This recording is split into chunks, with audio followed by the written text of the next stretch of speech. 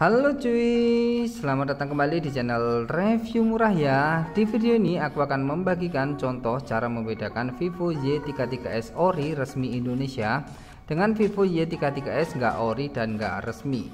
Saat ini kan banyak beredar Vivo Y33s seperti ini nggak ori, nggak resmi dan harganya itu biasanya murah. Aku dapat HP ini katanya memorinya itu varian 8128 harganya cuma 900 ribuan aja. Murah banget kan? Ya takutnya ada yang jual HP seperti ini dibilangnya itu ori resmi dan parahnya kalau misalkan ada oknum yang jual dikasih dengan harga yang original. Nah untuk menghindari hal-hal tersebut lebih baik beli yang ori dan beli yang resmi Indonesia aja dan garansi resmi Vivo baik baru ataupun second. Nah ini udah ada contohnya dua HP yang satu ori yang di sebelah kanan ini ori dan yang satu lagi nggak ori di sebelah kiri. Nah, cara membedakannya itu pertama bisa dilihat boxnya ya. Untuk yang resmi Indonesia di sebelah kanan itu tulisan Vivo Y33s-nya timbul. Ini timbul ada motif-motifnya juga nih, ada motif-motifnya kayak garis-garis gitu seperti ini. Tapi kalau yang nggak resmi atau nggak ori itu nggak ada seperti ini. Cuman polosan aja. Dan di pojok kanan atas kalau yang resmi Indonesia ada varian memorinya. 8 GB RAM 128 GB ROM seperti ini. Kalau yang enggak resmi enggak ada. Di samping kanannya juga beda. Kalau yang ori resmi Indonesia ada tulisan Y33s dan tulisan Vivo sedangkan yang enggak ori enggak resmi enggak ada. Samping kirinya juga yang ori ada tulisan Vivo Y33s nya kalau yang enggak resmi enggak ada. Di bagian atasnya ini yang yang resmi itu ada barcode-nya sedangkan yang enggak resmi itu cuma kosong. Bagian bawahnya sama-sama kosong seperti ini. Tapi yang paling penting tetap bagian stiker belakangnya. Nah untuk stiker belakangnya yang ori resmi Indonesia itu seperti ini ya tulisannya Vivo telepon seluler tipe V2109 dan lain-lain seperti ini. Kalau yang nggak resmi itu seperti ini nggak resmi dan nggak ori ya bisa kalian screenshot aja perbedaan stikernya jadi lebih memudahkan kalau kalian mau beli HP Vivo Y33s Terus di bagian belakang sini yang resmi Indonesia ada spesifikasi selling point seperti ini. Sedangkan yang nggak resmi dan nggak ori itu nggak ada. Ini kosong nggak ada spesifikasi selling pointnya. Tapi biar tambah yakin lagi jangan cuma lihat boxnya aja. Karena box itu kan bisa dicetak sedemikian rupa ya. Takutnya nanti dibikin-bikin juga biar kelihatan semirip mungkin.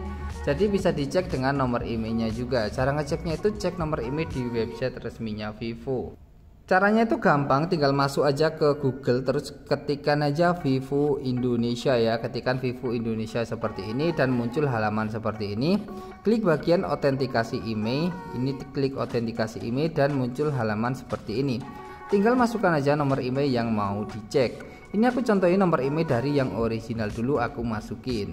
Oke, contohnya seperti ini nomor email dari yang ori udah aku masukin. Kita cocokkan dulu 868 370 053 399 554. Kalau udah centang yang ini ya pastikan ini tercentang dan warnanya biru langsung kalau udah klik kirim aja seperti ini. Disuruh masukkan kode verifikasi. Ini kita masukin ya.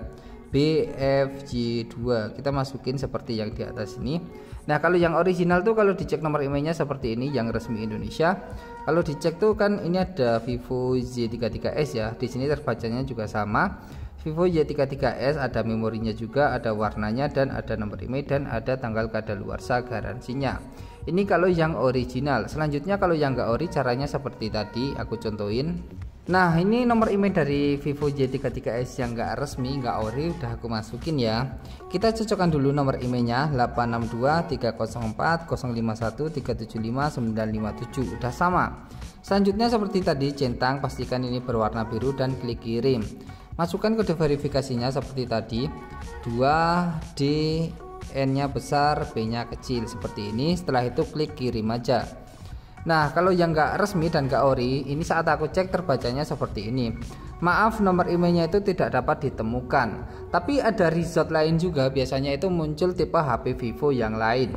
Karena HP-HP seperti ini biasanya emailnya itu email suntikan dari tipe HP lain dimasukin ke HP ini Terus supaya bisa dapat sinyal gitu aja. Supaya sinyalnya itu bisa dapat dan bisa digunakan ya jadi emailnya bukan email asli dari Vivo-nya langsung, maka dari itu saat dicek tidak dapat ditemukan nomor emailnya. Oke, jadi cara bedainnya mudah kan? Gampang banget kan? Tinggal lihat box sama cek nomor emailnya aja.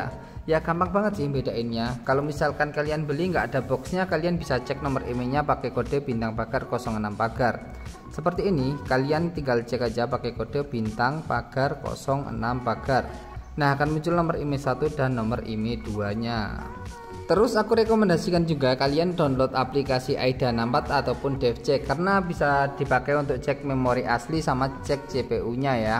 Contohnya HP ku ini kan Vivo Y33s kan yang asli harusnya pakai MediaTek Helio G80. Tapi punya aku ini yang enggak ori dan enggak resmi ini cuman pakai MediaTek Helio B22. Kalau yang ori dan resmi Indonesia tuh pakai MediaTek Helio G80 seperti ini. Ya contohnya ini aplikasi ini bisa berguna buat ngecek asli atau enggak. Contohnya memori ataupun prosesornya. Oke, jadi untuk videonya sampai di sini aja ya. Semoga video ini bermanfaat. Jangan lupa subscribe dan terima kasih.